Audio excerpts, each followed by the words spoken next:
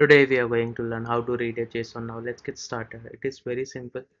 Here you can say I have created a JSON file foods.json that I'm going to read in this file. For that first I need to import uh, JSON built-in module.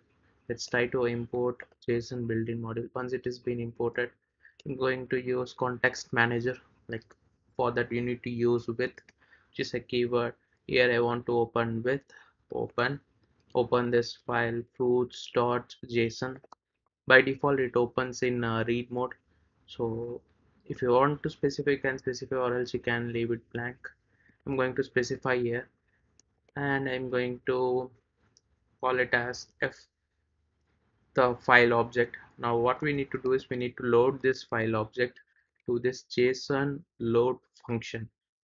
This will return us an dictionary that dictionary I'm going to call it as fruits Now let's try to print fruits. We should see the fruits dictionary.